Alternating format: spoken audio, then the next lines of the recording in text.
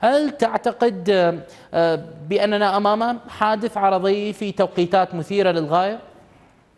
عزيزي هذه ليست أول مرة بعد الشكر على الاستضافة الكريمة التي نبحث فيها كيف تقوم إسرائيل أو الولايات المتحدة بإرسال رسائل لصانع القرار في طهران بأن الخيارات العسكرية كلها ما زالت مطروحة على المائدة وأن من بين ذلك هو رسائل نارية الآن تختلف من القصف إلى التفخيخ.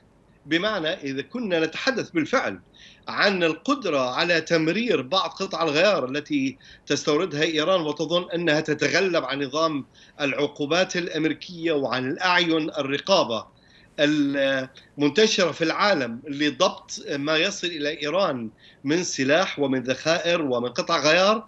الآن يبدو أن اختراقا قد حدث في هذا المجال والإيرانيين الآن آه، في واضح أنهم في حرج أمام حتى الراي العام الإيراني إن كان بالفعل قد تم التمكن من هذا الاختراق. هذا يعني التفخيخ يحصل بناء على قرار سياسي لأنها ليست فقط بنك للمعلومات أو الأهداف العسكرية التي بالإمكان قصفها متى أرادت القيادة السياسية وإنما هذه مفخخات موجودة.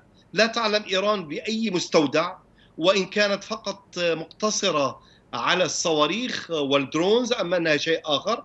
وهذه رسائل قد لا تخلو أيضا من بعد أوكراني فيما يتعلق في مشاركة إيران بفعاليه متنامية في قضية تصدير الدرونز لأوكرانيا مما يعني أن هذا الموضوع أيضا يعني روسيا بشكل أو بآخر.